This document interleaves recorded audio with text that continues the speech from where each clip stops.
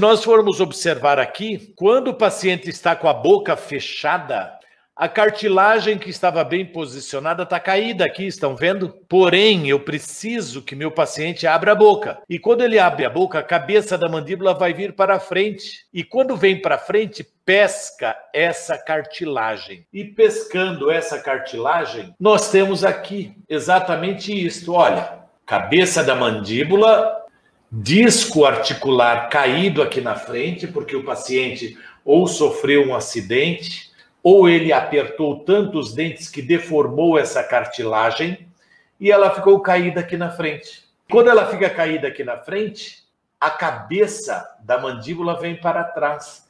Essa área nobre que é inervada é a hora que o paciente vai começar a sentir dor.